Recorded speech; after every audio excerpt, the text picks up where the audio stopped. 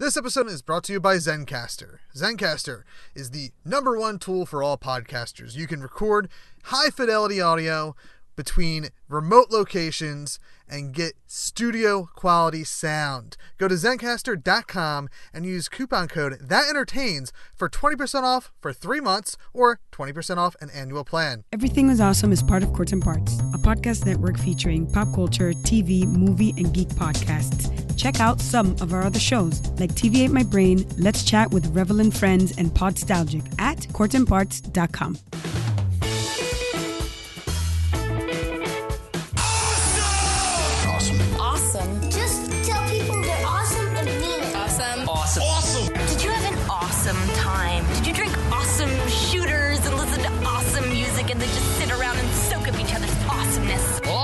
Awesome. That was awesome. You guys are awesome. No, You're awesome. You are awesome. Sir, you are awesome. Seriously. Awesome. Awesome. Awesome. Everything is awesome.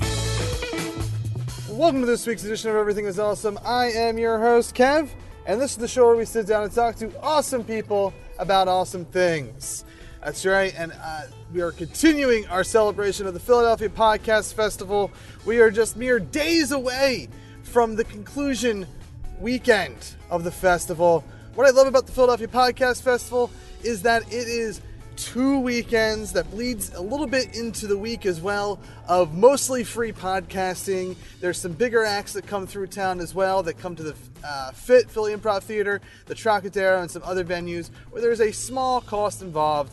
But you get to see Philadelphia based podcasting at Tattooed Moms, Amalgam Comics and Coffee House, Red Caps, and other venues for free uh, both weekends. And this weekend is Tattooed Mom heavy. Uh, I believe there's some. Uh, the Troc is also having some shows. But if you need some free entertainment this weekend, I suggest going to Tattooed Moms. You can go to phillypodfest.com/slash schedule for the complete schedule. But like my guest this week, who is performing on July 1st at 3 p.m. That's Greg Holdsman with Philly Famous. I will be performing July 1st at 1 p.m. We are opening up. We are kicking off the last day of the festival uh, at Tattooed Moms. It's going to be a fun time. We've already announced that we're playing a game giving away awesome prizes. Food Fright, where we have four food challenges and you could win cash, a gift card to Tattooed Moms, and a gift card to Mind Escape, and some other awesome prizes. But I'm going to sweeten the pot a little bit with our guest announcements. Again, mm, with our guest announcements, we already get we already announced mm, we already announced Kyle Harris. He'll be there to perform some stand up and chat comedy with us. But we also have Jacqueline Holloway. That's right. She is a fight choreographer and stunt worker here in Philadelphia, and she's going to come by to talk about the work she's done, what she does with her classes or workshops, and maybe even demonstrate some stuff that you see uh, done on TV, film, and the stage. Very excited for our show this weekend. Be there July 1st at 1 p.m. Uh, and stay the whole day. I'll be there all day helping, volunteering my time to make sure things go smoothly. It's gonna be a fun, fun, fun time. Uh, after us is Full Belly Laughs, which is one of the a, a definitely top three performance that I love to see in the city uh, when, when they're doing their show live. So make sure you check that out. Uh, Philly Famous is going to be on as well, and many other great shows. I believe uh, Twisted Philly is closing out t- Tattooed Moms. Uh, on July 1st and, and, officially ending the 2018 Philadelphia Podcast Festival. So come out for a great day of podcasting. Uh, make sure you buckle up because this is going to be a fun conversation that I have with Mr. Greg Holdsman, who is the host of Philly Famous. His show is an interview style show, a lot like uh, Everything is Awesome here, except uh, definitely better researched, better done, and has a very big focus on Philadelphia and the people that come from it. So uh, let's get into that conversation now. Let's talk about Greg and his podcast and how it came about right here on awesomepodcast.com. This is your first. Well, I guess maybe we should do a bit of an introduction for the people, uh, even though I'm probably going to cover most of it in my pre-intro. But uh, Greg, you are the, the the host of Philly Famous. Uh, go tell us about the podcast. Yeah, you want me to first start with with how it came to be, or really the essence of what it is? Give me the essence of what it is, and then we'll get to the origin point uh, in a little bit. Gotcha. Yeah. So what I do is I interview people that either live in Philly or that are from Philly that have either already made a name for themselves in any area of life, really, whether that be sports, music, TV, music, medicine, business, whatever, um, or people that are around my age. I'm, I'm a college student, so people in their early 20s uh, that are currently trying to make a name for themselves as either entrepreneurs or up and coming artists and musicians. Um, and I call those plug-in editions, where I'm trying to plug somebody's work. Um, but my more traditional episodes are with, you know, more established people that are, are more well known throughout Philadelphia for their work. Okay, and and so uh, you are a lot of people attribute this show to, and I and I I try to correct them when I can, but they say, oh yeah, everything's awesome. Is that like Philadelphia interview show? I'm like, well, I mean, I'm based out outside of Philly, but like we don't, I I I don't talk to just Philadelphians, and I've kicked around the idea of like kind of converting it to be very local like that uh but there's just there's for me like there's just a lot of interesting people that that like this show can cover outside of the philly area uh and, and whatnot. So you sound like you're doing like the real and i love that there's i love the locality shows. Like there's a plenty like um uh, i don't know if you've ever listened to 25 o'clock pod uh by dan drago. Haven't heard of it. But he he does uh like his is like Philly based music basically.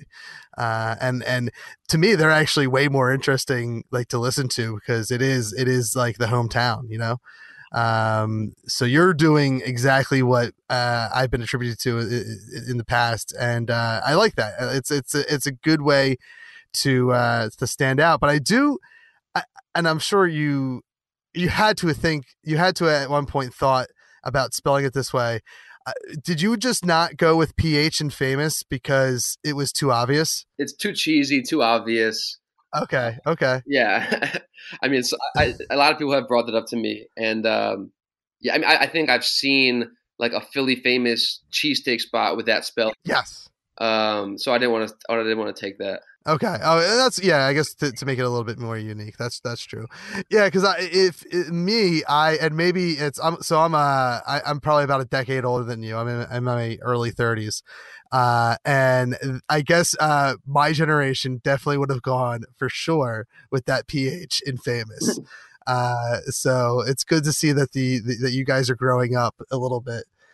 Uh so yeah give me the origin story about you know where like at what point did you think of doing a podcast because i mean really if you are college age early 20s you know you you've been you're, only like double the age of a podcast podcasts have been around for almost half your life at this point so what what was it that made you want to do a podcast Yeah, absolutely. So uh, the story starts. I, have to start it, I guess, back in high school. Um, I was a lifelong athlete, and I was a big time uh, basketball player in high school. And I, I went to play basketball uh, at a small school in, in Granville, Ohio, called Denison, uh, to play college basketball. And in my first year and a half, I got three concussions Oh, wow. that uh, ended my playing career. Um, and led to really, really lengthy recoveries um, with pretty intense symptoms. And during my recoveries, I couldn't watch TV, I couldn't exercise, I couldn't do homework. All I was doing was laying in bed listening to podcasts. And that was my introduction to, I guess, you know, the magic and the intrigue uh, that podcasts are. Um, and so what happened was after my third concussion, after my sophomore year, uh, I was finishing my, my recovery and I decided that I was going to end my playing career and I was going to transfer home to Temple uh, to finish my recovery and to finish my education. And this past late October, early November is when I decided to start my own. Uh, I needed to do something with my time. I still couldn't really exercise, um, and I was really just doing school, so I had some time on my hands. Um, and I'm passionate about Philly. Uh, I'm passionate about you know young creatives, innovators, um, and you know I started with a lot of sports guests, but that's really you know how I started my own, um, and that's how I came up with the name Philly Famous. Mhm. Uh, when I was when I was out in Ohio uh, at school, I really miss the city. I really miss Philly. Um, so I, I figured, you know, what better way to to represent that, but by calling my my podcast Philly Famous. so now did you start it while you were still out in ohio or or when you officially were uh, here in philly No, I started this past this past year when I was in Philly, my, my first semester at Temple uh, in my junior year. Okay, uh, and uh, man, it blows my mind to because so I've been you've been doing it for you know what maybe eight months at this point. Uh, I I started uh, in 2007 is when I started not this show but podcasting in general. Back when like the term podcast was maybe a year old. Uh, and uh, and like I'm so so 07 you're how old are you at that point 07, I would have been 11. Wow. So that's crazy. Yeah. So podcasting has literally been around for for half your life. How was it so like growing up at that age because when in 2007 I was uh, that's 11 years ago I was like 30 I was like 22 I was your probably your age now. Uh so so for me you know I, the only reason I really discovered it was because of Kevin Smith. Um and and being a fan of his and, and him starting his own podcast back in 07 uh, other than that, I'm more of a traditional radio guy. Like my influences were uh, to, to like to get into some sort of talky radio thing was like Howard Stern, Kid Chris, uh, Matt and Huggy, like all these like Safer Stern, all these Philly guys that were on 94.1. What like what was your influence to to you know aside from just like listening to them and you're recovering? Is like there any one podcast or radio personality that that you kind of were influenced by? Yeah, there were a couple. Um, first, first of which I think who I think is credited as really the pioneer of, of modern day podcasting is Bill Simmons. Okay. Who are you aware of who he is? No, no, never heard of him. So Bill Simmons, um, people mainly know him because he started Grantland, which was a show on ESPN. Um, Okay. And since then, he- he's left ESPN. He had a show on HBO, and when that ended, he now has started um, a multimedia company called The Ringer, which is actually the publication that broke the Bryan Colangelo story. Uh, um, it's like a sports and pop culture blog and podcast network. Um, and he has his own podcast, which has been around now for I think around 11 years actually. Okay. And he actually has a very similar format to mine, where um, you know he just has on an interesting person, and, and they just talk for a while about various topics. Um, there's not necessarily one theme. Um, and then what kind of opened my eyes to the popularity of, pod- of podcasts was a podcast called Pardon My Take, which is um, presented by Barstool Sports, and it's two guys, Big Cat and PFT, and it's really like a satirical sports podcast. Um, it's hilarious, and I think it's the number one sports podcast on iTunes, um, and it's like really become mainstream pop culture now. Um, and that kind of that kind of was the first one that I realized this can be what everyone listens to. So, uh, you so it, all your stuff it seems like it's very uh, whether you're you're doing it or not, you like sports. So you, the, the sports um, personalities and and radio personalities influenced you heavily. Yeah, I would say so. And then I, I listened to a couple more, I guess, culture society ones, Mhm. some funny ones. Uh, One's called the uh, the Great Debates, Okay. which I believe are two writers uh, that wrote for The Office, um, and they just like name a topic, and one takes the pro, one takes the con, and, and you know it, it's pretty funny, Mhm. uh, pretty interesting. And um, you know, I listen to Tim Ferriss, which I guess is more of a lifestyle one. But I would say on a on a day to day basis, uh, I still probably listen to six to eight podcasts every day. Mhm. Uh, a lot of them happen to be from the Ringer Podcast Network because they do, like I said, it's not just sports; it's also pop culture, Okay. Politics. So I listen to one called The Rewatchables, where they break down the most rewatchable movies of all time and spend an hour kind of going through the cast, going through favorite moments, um, and they do a recapables too for TV shows. Uh, and I'm a huge Westworld and Game of Thrones fan Mhm. they, they they do both of those. Um, so I, I you know I think where sports is probably my heaviest influence and probably my my first passion and where I'm most comfortable talking uh, during my own podcast and, you know having several interviews with musicians and entrepreneurs and and artists and and doctors I've become much more well versed in other areas of life. Mhm. um, I don't want to limit myself to just sports. I want to keep diversifying myself and keep learning and growing in other areas. Yeah, I, that and that, that's when I um I used to do, and this is the way uh, I I don't know about other podcasters, but like the, when we first started in 07, uh, we said like let's just do like a talk show like like Matt and Huggy. I, I don't know if you're you're probably not familiar at all with the free FM years of 94.1. Uh, but when when Stern first left, 94.1 went all talk uh, with David Lee Roth in the mornings. I think Barsky uh, was mid mornings, then Kid Chris afternoons, and and Matt and Huggy were somewhere in there as well.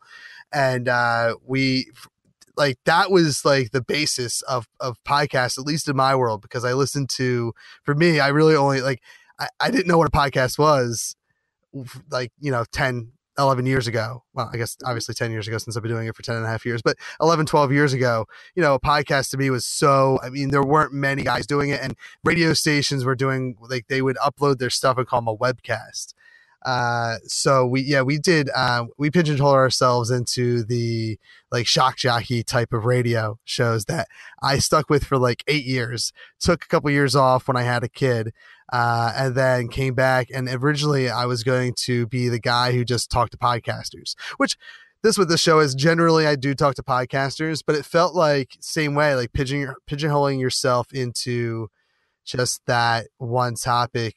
You limited what you could do and, and grow as as a podcaster. Um, and mm-hmm. so we talk to everybody now.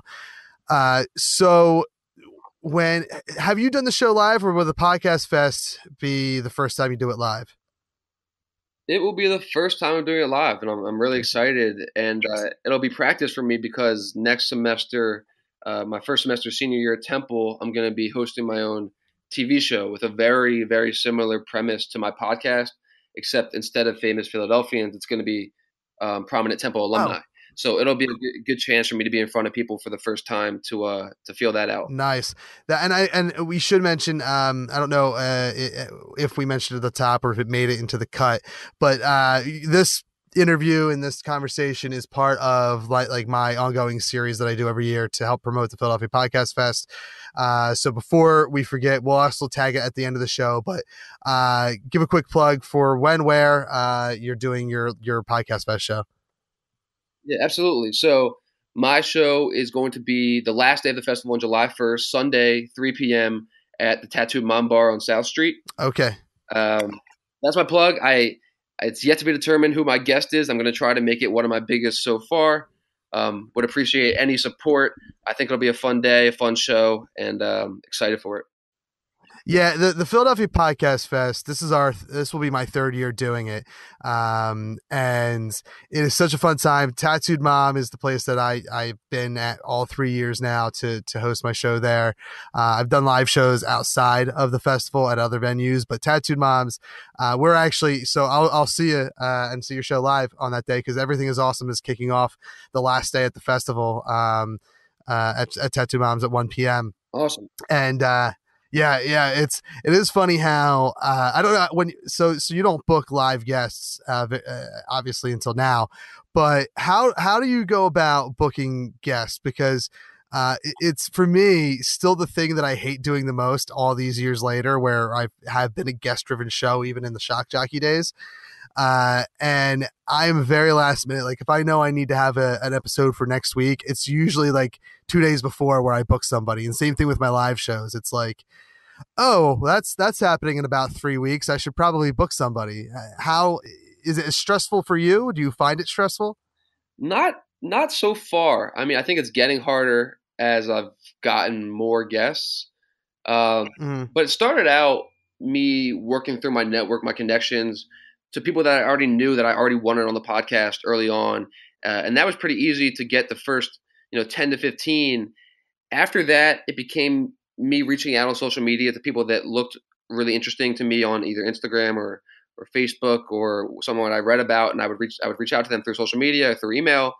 Um, and then recently, what's been really cool to see this uh, transformation is that people have actually been reaching out to me. People that have listened to my episodes, have seen who I interview, um, have said, you know, reach out to me either through email or through through social media. You know, hey Greg, I love your show. I, I would love to to to be on it and promote either my brand or, or someone that they know they recommend. So that's been cool to see that that evolution. That is, and I'll tell you, uh, doing everything is awesome for two and a half years now.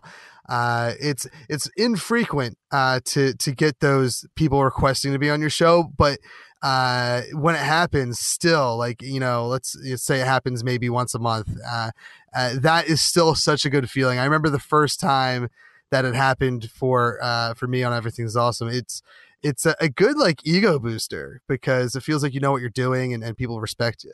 Yeah, no, absolutely. And uh, no, and don't get me wrong. I, my show has a lot of, um, you know, I still have to improve a lot, and it, has been this is this was brand new to me, and I feel like in the last seven eight months, I have come a long way as as a host, uh, as a researcher, uh, as an editor, uh, as as a marketer and brander. But you know, I'm still really in the beginning stages of learning, and I and I have a long way to go, and I want to keep adapting and making my show better and mm. better. Well, and I think uh, podcasting is always kind of um, like a, an ever learning thing um, industry. Like you need to kind of, and and I think we're f- kind of at the point where where technology is almost, as far as podcasting is concerned, I, I, feel like I don't. It's hard to predict what the next best thing is, or what what the what we need as podcasters, because as so like going back 10, 11 years ago like the way I'm doing an interview right now with you was not possible. Like it, uh, my very first episode of a podcast, I was in. Eh, we still did it remotely, but I was in Maine for work. My co-host was in Levittown, and our producer was in Philadelphia. Uh, for me and my co-host, we just needed a computer with with a with a microphone. But my producer to have intros and commercials play, to have uh, a phone line for a guest to call in on, um, and to have all of us patched in and able to talk to one another involved I th- like six computers maybe seven something like that um, and and there's no way that I, that's something you can do rem- like like you and I are talking in the middle of the afternoon when uh, I normally am, am working uh, and am working. I'm on my lunch break. So it's 10 years ago, maybe even like five years ago, that wasn't a possible thing now that podcasting has and and maybe uh, you as being the younger generation and maybe you have your your finger on the pulse more than I do. Uh, I I don't see it. Do you see like as um you are you know you've done in studio stuff right now, but do, like what is there like another technology that could help you do this better or easier? Um, I, I mean, I think it's the, the great thing about this has been it, it is so easy. I mean, I just I have yeah. Make, plug it in the computer, sit down with my guest, press record, and let it run. And I really, unless something really, um, you know, someone says something they didn't want to say, or or they cough for 5 mm-hmm. minutes, which I've had happen before. I don't do a ton of editing, um, so you know, the sound quality, I, I guess, could be improved with with some higher level technology. But beyond that, I mean, the nice thing about this is that it is so easy with with with the technology that that we have. Yeah, and that's what I'm saying. Like, I feel like we're finally there. Like, like obviously, if if you're going to go into the video world, the video side of podcasting and videocast, um, there's a lot more things that I think will always improve because they're always finding ways to to make higher resolution uh, viewing devices. So there's always, I think, going to be a way to improve that. But like the two people sitting around talking or, or a handful of people sitting around talking, that's only like audio is only going to sound so good no matter how high of a bit rate you have. Like it's it's all the same at some point unless you're you're vocalizing or have instruments involved or something like that. So I feel like we're like at the place where okay, like now it's just about kind of like podcasting now, which is something that I'm still not fully good at, is I think more about marketing and branding than it is about the technology because the technology has now been around for at least five years to, to make it as simple as possible. No, absolutely. And I think, you know, you're showing me through this interview how easy it is to do this when you're not in person. Um, yeah. Yeah, and and that's like a learning thing. That's like something that uh, like it's a, it's a technology that exists that like until last uh, until two years ago, I didn't know it was this easy to record a, a remote interview. Uh, and it's just something once you know about it, then it opens up for like now that you know about it, that's going to open up the the Philadelphia guests that you can have on, whether they are actually in Philly or maybe they've relocated, but they're originally from Philly or something like that. Yeah, that being said, there is something to be said about you know the intimacy you get when you're with somebody recording Yeah. um, and you can kind of read their their raw reactions, their raw emotion, um, and I, I tend to prefer that. Although you know there are some guests that I really want that won't be able to come to me, and if I can't come to them, this would be a great option.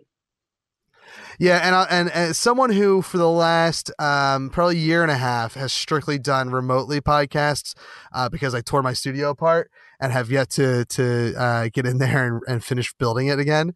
Um, it, it is something that I missed. There is like there's plenty of guests that I actually like have only that I would have on. I like to have some of my guests be repeat guests uh, just because we have good conversations, or maybe you know we go instead of doing an interview slash conversation about whatever, we, are actually going to sit down and talk about a movie or review something. Sometimes this show isn't just an interview, um, and that like like I prefer in studio. And we haven't I haven't had those ghost those guests back on because I need to rebuild my studio because I do. I want that intimate uh, moment, and and it is something that uh, that I personally do miss. Um, but that's also like that for me. Uh, like the way the Zen, uh, Zencastr works, what we're using to record this, has spoiled me in the sense that I get two tracks. I get me, I get you on separate tracks, uh, which isn't something that my home studio gets. Everything records onto one track. So if uh, we talk over each other, or I happen to cough while you're talking, or vice versa, I can edit out all that stuff and and make it seem, sound like a clean conversation. Can't do that in my home studio where you you know there's if I cough over you saying something and we don't go back and re-record it, uh, it it's kind of either a ruined moment or a missed moment. No, I, I agree with that. Um, but I think one thing that that separates uh, podcasting from radio is that I really think people want to hear what's real. So if if if if you misspeak or if if they're you know I mean people don't want to hear coughing, but it, you know if there's some stuff in the conversation that doesn't sound perfect, that's okay because that's real. And the great thing about yes. podcasting is it's uncensored if you want it to be, um, and people really like to hear a genuine conversation that they could hear in the in the street on an, in an everyday day.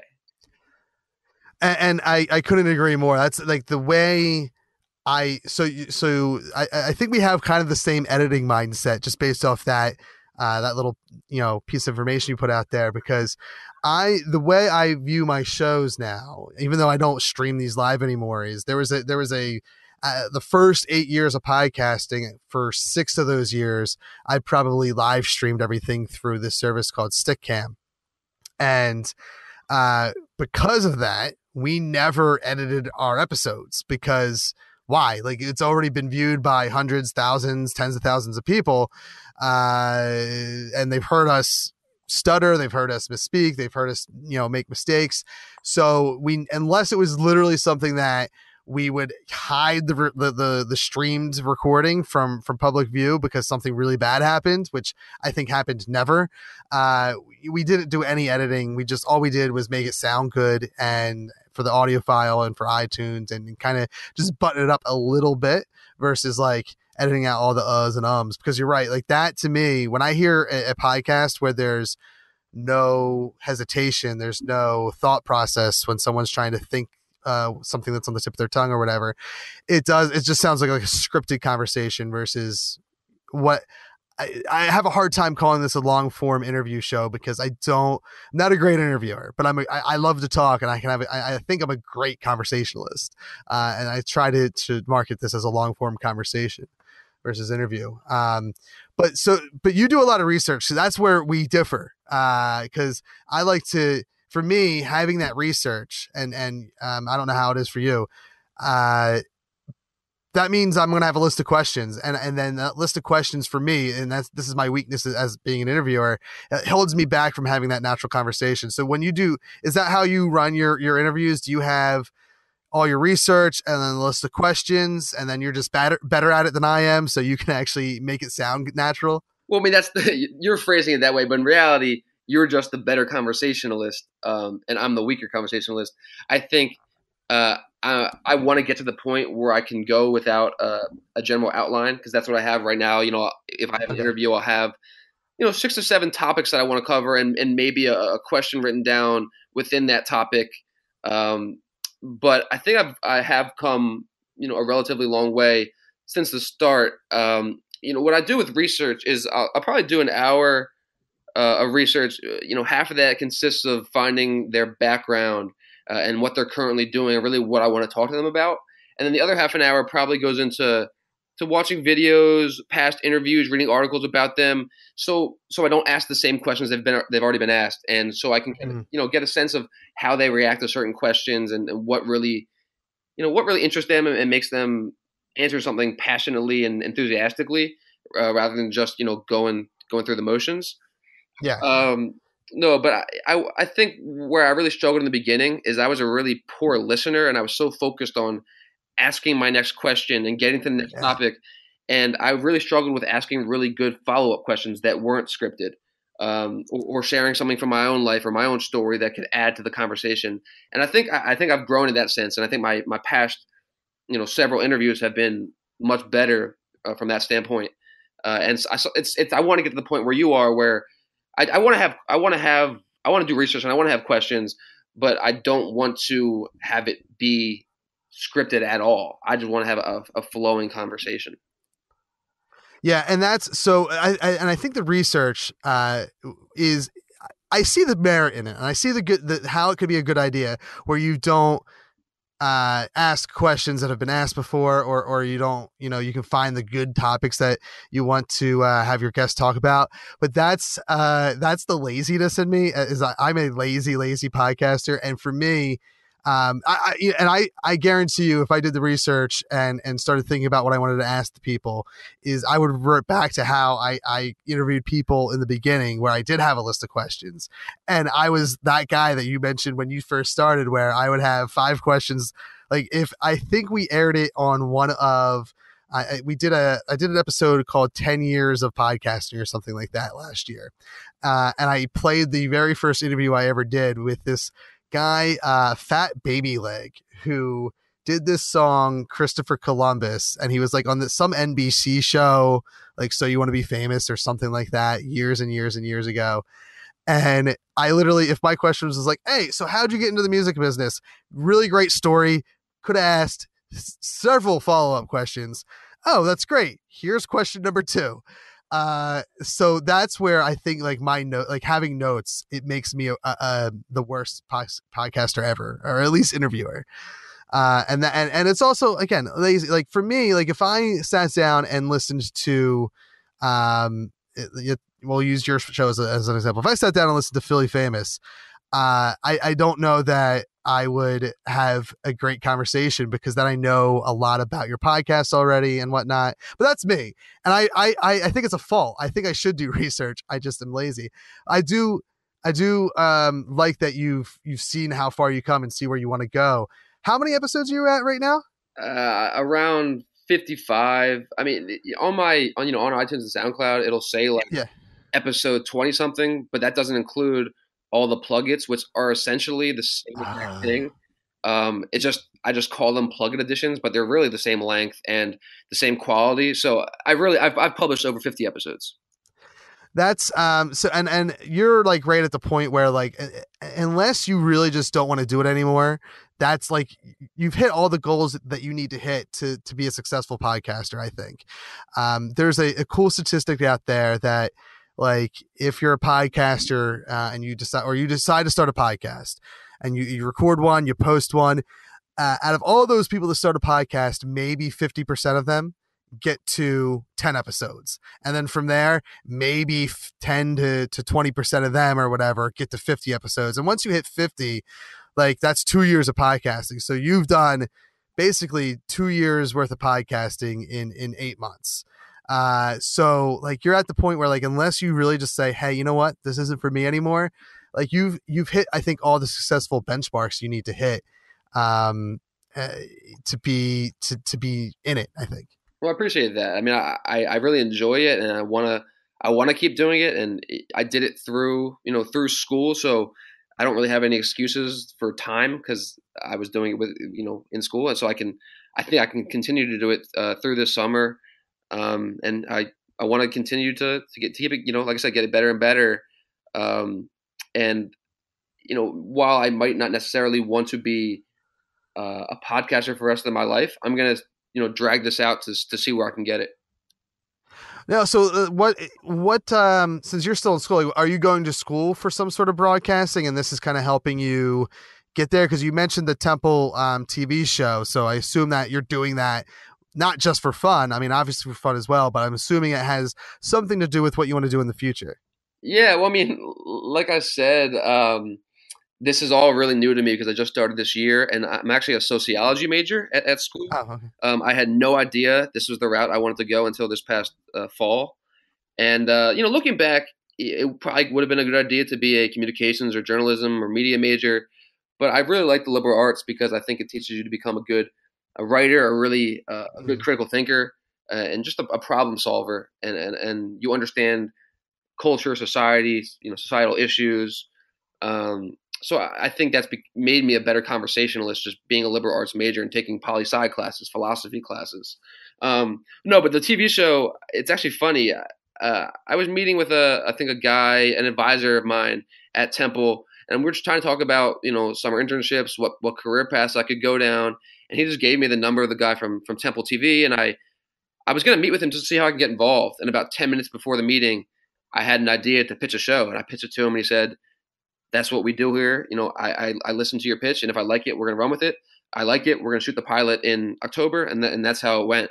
Um, but in terms of my long term uh, future, you know, I, I'm undecided. That being said, um, my dream job, what what I've kind of told myself over the last couple months is I would love to host my own late night TV show, and I think that's why this fall is going to be my first uh, kind of test to see if if I'm if I have any talent or skill in that area. Yeah, I, and I'll tell you what when. Uh, I, I did one live show uh, during my initial run of podcasting, probably about I think it will be in uh, in October. It will be 11 years since that first live show, uh, and it was just us like kind of playing MC uh, to a bunch of bands and introducing the bands, doing some banter, doing some giveaways and whatnot. Um, so when the opportunity came to do the uh, Philadelphia Podcast Fest, it was the first live show at that point that I had done in like nine years or something like that, or eight years. Uh, and I was I was talking to my buddy. I was like, I don't, I can't go up there for an hour with me and someone else and just have a conversation. Like that's that's dull. Like I, I don't think that's going to to work. So how do we shape this show? Like how do I become a better onstage performer to make that good? And like one of the things I did was like, well, I need a sidekick. Like I need someone to to banter with. Otherwise, I'm going to be awful. Um, and I was like, well, what do we do? What format do we take? And uh, I still have yet to perfect the the the format, but that's I still kind of uh, in my 30s. I'm probably in my career for life, but uh, one of the things that I've always kind of had a, a I've been a fan of, and then when I started everything is awesome, kind of wanted to see if I could explore in some fashion was late night TV as well. Um, and that's what we do. Uh, like, and uh, so I want to get to your live format and, and see, maybe we're on the same page here, but, uh, I, like our live shows, we do a lot of different formats, but our late night format is is two guests, like a comedian uh, to to end the show and a, and a regular guest to to have the main conversation with, and then we have the the monologue and the banter and whatnot. What are you doing to to switch up your show for the live format? Yeah, it's something that I've that I've been thinking about and have to do some more thinking on. But I think right now, definitely want to incorporate the audience and audience mm-hmm. questions. And um, fingers crossed, I'm hoping that I can get a big enough guest where most of the audience knows this person and will be interested in asking questions. Yes. Um, but one one thing I do um, on my podcast, right, you know, for every episode, I do a couple segments. One's called the Choice Challenge, where um, you know I'll either name th- two things, they have to pick one, or do a, a, Would You Rather. I'll do a you know a top five, top three. Um, so I'm going to continue to do that for the live show. Um, but no, like I, you, you bring up a good point, and it's something I have to think about. You know, what will translate from just the audio, and, and what do I need to add or do differently? Um, mm-hmm. What do you what, what do you do differently? So so the and and this is um my general advice for doing a live show is just to go do one. I think if you're a podcaster, you, you, have you have the natural talent to just get there and do whatever you think is good. But since we have a similar show, uh, like what I do differently uh, is is is I literally translate it into a, a, late night format. Like our I used to call them everything is awesome late night when we would do our our live shows in that format. Um, and it's it's we start the show, I come out, You know, I usually do some weird entrance because I, I that's the wrestler in me from back in my wrestling days, and I come out and we do a quick little monologue. I go back and forth with my co-host. I try to play some sort of game, whether it's um, whether it's with the guest or with the crowd. I try to get the crowd involved, uh, but it's always hit or miss whether you're going to have a crowd there uh, with live podcasting. So you can't count on that necessarily. Uh, but then we do we introduce our first guest. We sit down for X amount of time, and I think this is what I think is is really helpful and and especially even if you're just going to have the one guest on, you should absolutely steal from me. Is uh, I like to make sure that the guest I have on they can have they can do something that is going to interact with me, my co-host, and possibly the crowd. So like our first live show is everything is awesome. We um we had this fitness guy on who was a personal trainer and whatnot and he made us do push a push-up contest. He there was this ab roller thing that we did. He hooked us up to some machine to let us know what our body fat was so that we knew where like where we had to get down to and whatnot.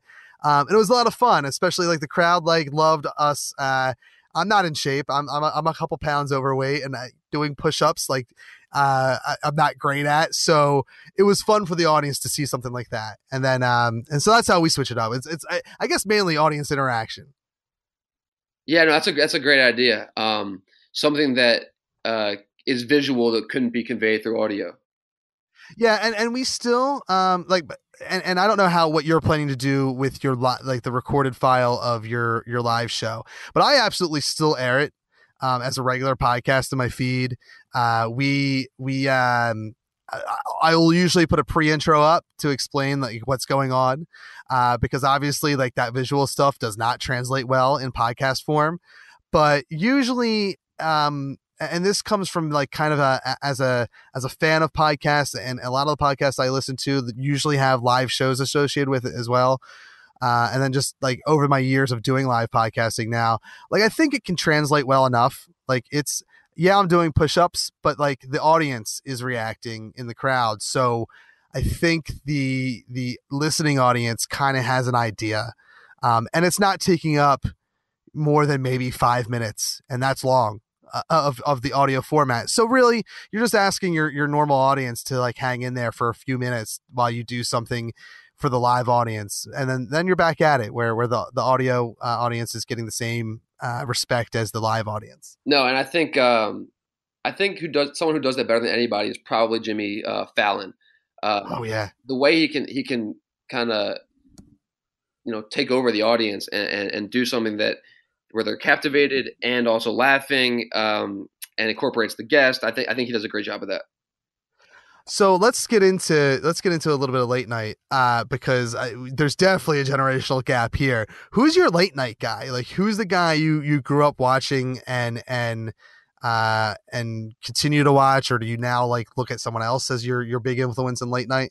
Well, I mean, I, did, I didn't really grow up watching late night TV too much. Um, most of my late night TV was dedicated to uh, you know late night NBA games or something. okay, okay. So, uh, so, so now you know, I'll, a little bit of everybody, a little bit of Fallon, a little bit of Kimmel. Uh, I, I really like James Corden. Um, I think Seth Meyers is getting better, uh, but I, I, think I think Fallon is probably my favorite. And um, I mean, they all have great guests. It, so much of the show depends on who the guest is. Uh, yes, and, and, how you know enthusiastic they are to be there, um, how just how into it they are. Um, but I think Fallon does the best job of. Uh, I, I, it feels like the celebrity that's on connects with Fallon the most out of any of the of the hosts. Yeah, I, I, uh, so I grew up as a as a Conan guy. Like I would, and I'm not like a late night say like I grew up like I watched it as a as a teenager and and all throughout like my you know pre high school I guess that's middle school but like like middle school and high school years I I love to watch it like I would try to like at least on like the weekend like Friday night I would be uh, like allowed to actually do it uh, when I was younger and, and had a, a curfew but uh, I always kind of like gravitated towards Conan like Conan O'Brien was and I think again that's probably more true of my generation than than any other generation. Um, he was like the Jimmy Fallon uh, of my generation, uh, and it was it did that late uh, the late night show. Mm-hmm. Uh, after the night show and whatnot, um, and uh, but Fallon was like, uh, is to me, like he is like the current guy. I, I don't watch Conan anymore. I don't really watch much late night anymore because uh, I, I'm usually busy creating, so I don't I don't leave much time for myself to actually consume anything. And when I do, it's usually consuming other podcasts. Um, but uh, yeah, Fallon, I like. I I think if if we were to like disclude Conan simply because like he's I know he's still doing it and he's on TBS, but he's not really part of that. I don't feel like he's part of the the the the the talk the talk show circuit anymore. Really, only because it's it's just not on the big three channels or whatever, you know. Um, and and out of the big guys that are out there still, it's I, I feel like. I feel like there's, I guess if you're more political, like Colbert is your guy, but Fallon seems like you said the most relatable almost. And for me, I think he does. While I agree, like the guests absolutely have like everything to do with who I'm going to watch at any given night. Um, Fallon is the guy who like I want to watch when there's no guest. Like when it's the monologue, I want to watch Fallon. When there's a game, I want to watch Fallon. You know, Mhm. um, he he's a he's a great like and and I don't know if you what did you watch it when he first started on uh I don't know I don't think it was late night because I don't think I wa- when he was on after Conan when Conan took over the Tonight Show I didn't really watch him much every now and then but when he first took over the Tonight Show what were your thoughts I mean, I don't. I don't even think I watched him at the start. Um, I would say it's only over the last two years or so that I got into. okay So I kind of, I've seen him as like a seasoned vet. So I didn't Yeah. see him uh, in his rookie days. Yeah, it's. I remember the like, what, I don't, and I don't know if it was his. It may have been his late night show that was the the, the one that made me cringe. But like, the thing that Jimmy Fallon has, uh, if you know anything about him and like his his SNL days, is like he's the guy that cracks a smile, like does everything that Lorne Michaels hates when it comes to sketches. But uh, that's why everyone loved Jimmy Fallon because like he he would break character and and kind of like going back to what we said about podcasting, like that's makes it more real and he- and it, your audience can relate. He's he's really comfortable in his own skin, which which makes him really likable. Yeah, Uh, I know. I would I would love to hear him on a podcast. All those late night guys, because I think they're all um, in some ways comedic geniuses, and because they're on mainstream TV, they have to be somewhat censored. So I, Yeah. I would love to hear them go all out, uh, like on a podcast. Yeah, yeah. And I and I think we we saw something close to that with like well, and I guess Colbert was more like in character when he did the Colbert Report, but I think you saw you saw something like that a little bit more uh, of an untethered Colbert when he was on uh, Comedy Central, um, and uh, I, I think I don't know about I I don't know it's hard to picture uh, Fallon and even Kimmel doing um, anything else than they do, and I, I don't watch Kimmel often, so I really I, I can't speak. To, you know much about him but F- Fallon I feel like I, I I don't want to say I know him but I feel like I, I know like based off of what he's done in the past and, and and and now. I don't know I feel like he's he's the guy like I think you you're gonna get an like the uncensored Jimmy is I feel like that guy. Like I don't I don't know if he does hides much of himself. Absolutely. uh, I, I- and I'll tell you, you brought up James Corden, um, and and I've only watched a handful of his shows, uh, but everyone that I watched, I really really loved, and he does a great, like, t- what I thought, and I don't know, you can uh, do you watch him often? Uh, you know, I wouldn't say often. I, I would say every couple of weeks. But then, you know, I'll go on YouTube and watch his carpool karaoke's and some Yeah. of his segments, and you know, he he gets the he gets his guests to loosen up a lot. I, like I remember he had Steph Curry on, uh, who, who's my favorite basketball player, and uh, you know, he was singing Moana in the car, and I think um, Frozen, and you know, they were having a blast. Uh, he, he looks like the type of guy you want to be friends with. Yeah. Oh, yeah, yeah, yeah. And what I like is, and I, I, assume he still does it. He breaks that normal late night mold of having one guest out at a time, or sometimes the second guest, the first guest will stay when the second guest comes out. But the episodes that I watched, he just brought both guests out at the same time, um, and just it was more of a group conversation uh than a straight on interview and maybe he's changed back to a traditional format but i really that's what i, I like when because because late night has this this problem of kind of being stuck in its ways and and it sounds like conan over at tbs is trying to do something different by switching to a half hour format um and uh, next year and uh, I, when I see it's it's it's I guess rare to see something new in late night because it's been around forever and how you know how many different variations can you do and it, so it's refreshing to see something new like that. Mm-hmm. What and so so i- with your interest in doing late night, like is that what you like? And if kind of doing this live show where it's going to help you kind of sh- maybe shape or practice for your temple show, which is also going to kind of help and shape, you know, maybe practice for doing some sort of late night thing. Do you think about that? Like, do you do you, when you watch these bits, whether they're on YouTube or you watch the whole show on uh, on on TV? Do you think about like, all right, how can I do this and and be different?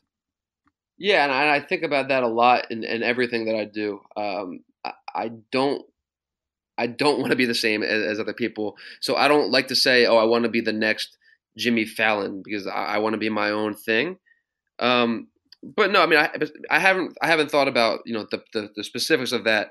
But I think what's really important and that I've noted that I do want to emulate from all the hosts that I that I do see on late night TV is it feels like they're really respected by their celebrity guests, and it, Mhm.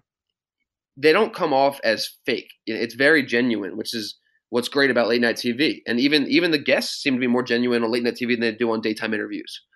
Um, Yeah. so I, I think it's important to, um, and what I tr- what I try to do in everything that I do in life is is is be my one hundred percent self. Um, I think um, you know people have have a lot of issues with some things that I do, but I, I think the main compliment that I get from from friends of mine, from from guests on my podcast, uh, is that I'm pretty genuine, and uh, you know I'm a, I'm an open book. There's there's not much that Mm. that I won't tell you. Um, I'm, I'm not going to try to do something behind your back um, and that's tr- kind of the, the way I try to go about my life. Um, I feel like if you're living either a lie or, or you're living, uh, you know, not the whole truth, um, you know, what's the point? Uh, yeah. No, and- that's that makes a lot of sense. you know, I, I went on a tangent there, but I feel like that relates to to being a quality TV person because so Yeah. many people in Hollywood on TV um, are fake. Uh, Mhm. So I think I want to be different by I, I want to be real, and I think late night TV already does a good job of that. Well, I mean, and generally speaking, like I mean, it's Hollywood's job to be fake, you know. So like when when that's the expectation, or, or at least the perceived expectation, um, from from outside of Hollywood, when you get someone that is at least seemingly genuine and being real and whatnot, like like I said, I feel like I, I feel like Jimmy Fallon. I don't. I think the uncensored version of Jimmy Fallon is is no different than what you see on late night um, and I think that makes that's probably why he connects with the audience and why he was way successful uh, and has been successful with the Tonight Show. And it's something that you know, kind of, and again, it kind of goes back to what we said earlier with you know. Uh, just being having a real conversation and leaving in the imperfections instead of editing it all out like it just it it um you know someone i talked to recently had a great example of um a podcast that seemed real and then the second season of it wasn't as popular because it was more polished and that was serial i don't know did you ever listen to serial You know, sparingly. I feel like as as a podcaster, I should because because I've heard really good things. See, I, I and as a uh, as, as a seasoned podcaster, I would say definitely listen to season one of um of Serial, and then listen to a couple episodes of season two, and you'll see like the difference in quality. Where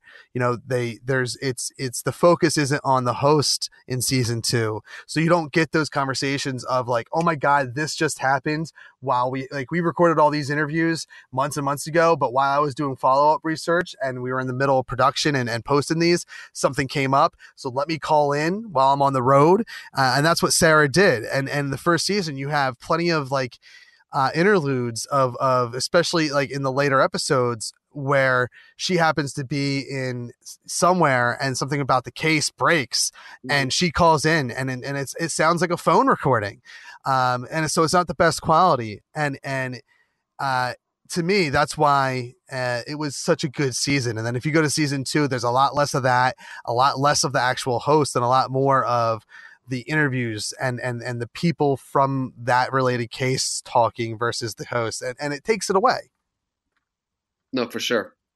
um, and I think and, and, I think as a podcaster, like you, you know, I, I I didn't I didn't realize that until the the the person that told me this, um, until she told me, uh, like that's why she thought that it did not, um, season two didn't succeed, and I, and it it I I learned something without realizing I learned something uh, until you know just the other night. So I think as a podcaster, like you can learn a lot from listening to the and hey, season one is just a good it's a good story. So so I think you'd enjoy it, if, especially if you're kind of into like true crime at, at all.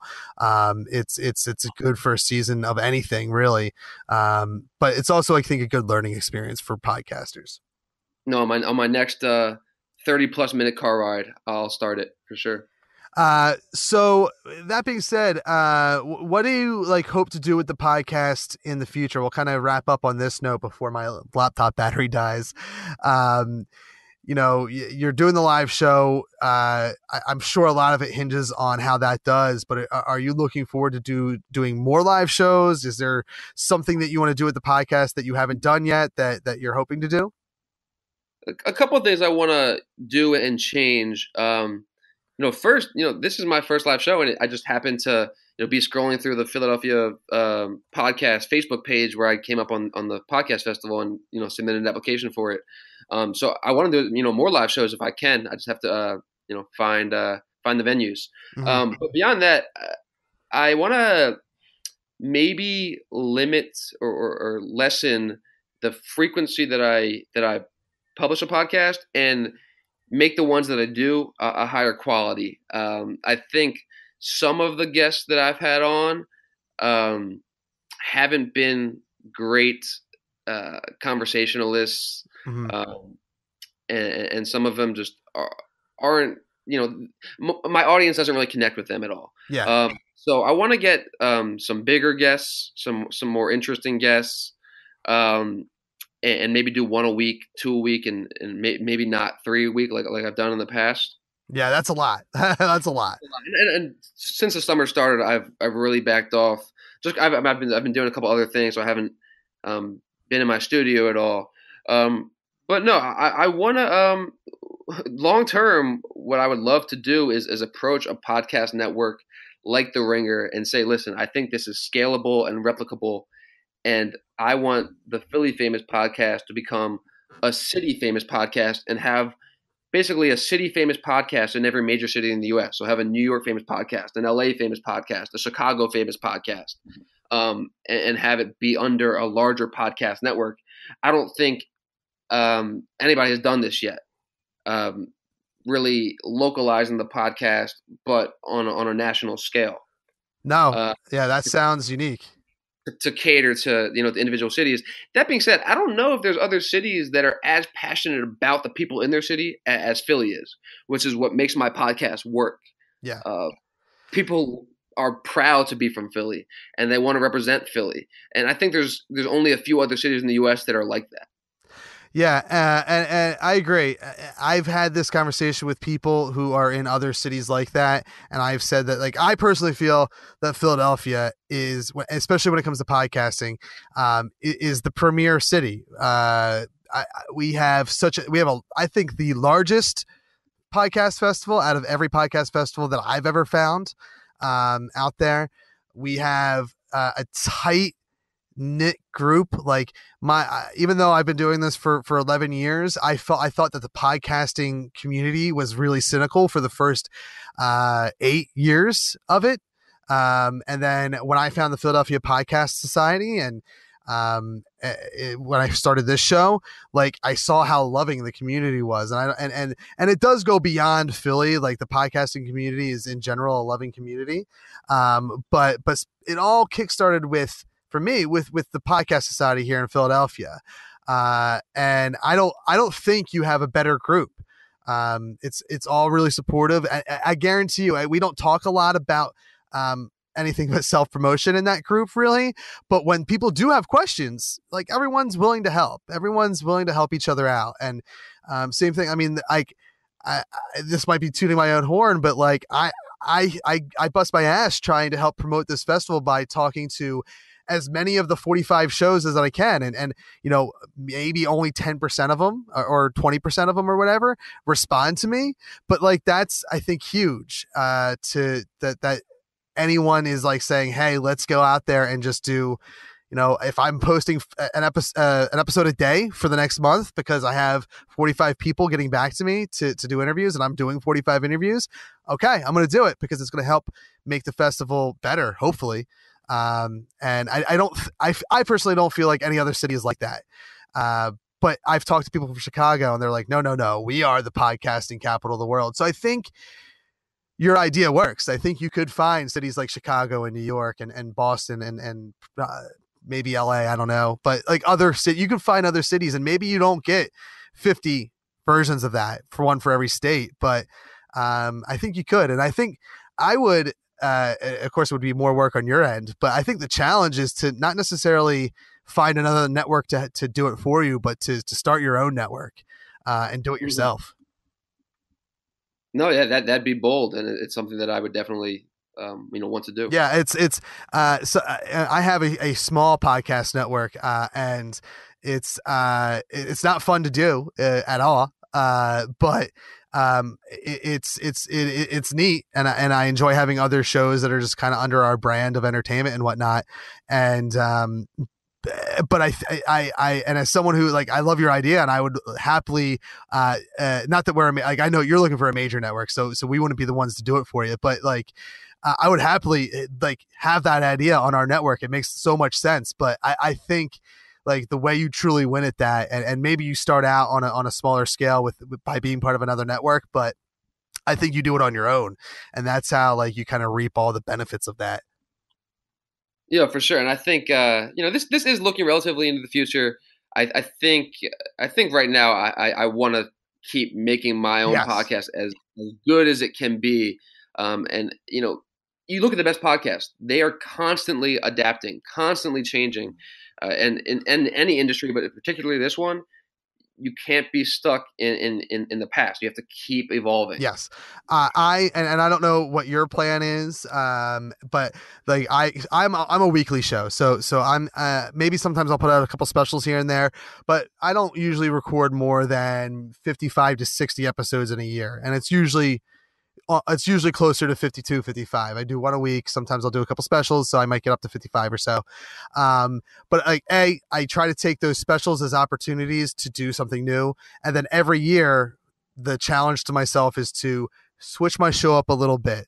Um, so like the first year i had a lot of two-parter episodes. Second year i said no more two-parters. I tried to keep it under an hour or it's just going to be an hour and a half two hour episode whatever.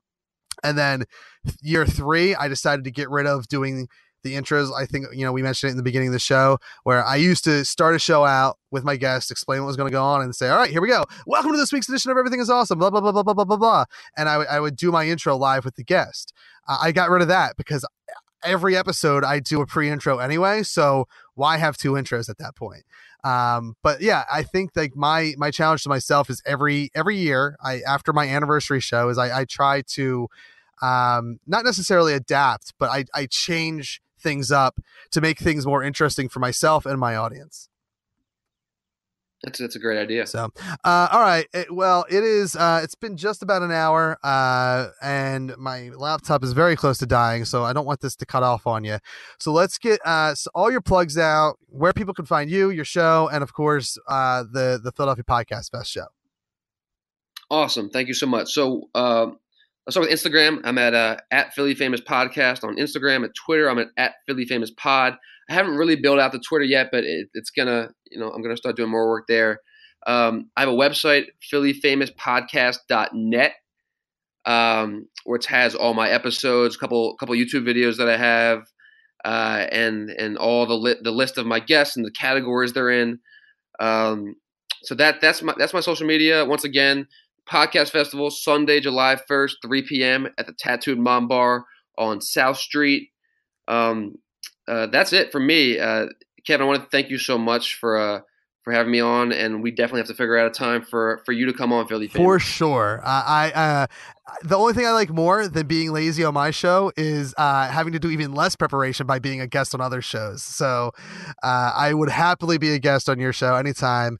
Uh, and again, thank you for taking time out of your day uh, and and doing the show.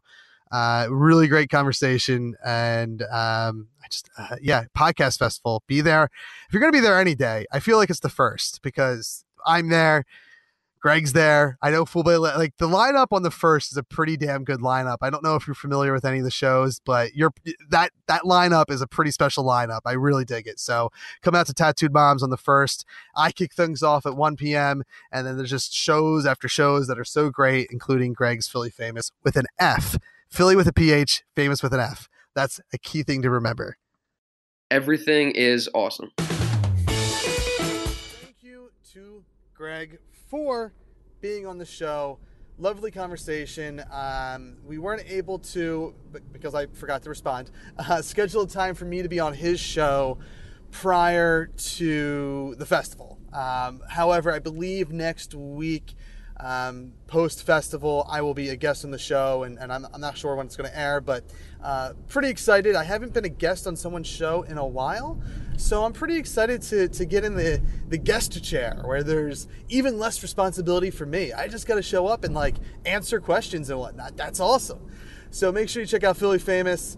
Uh, all the links to the show and Greg are in the in the show notes here.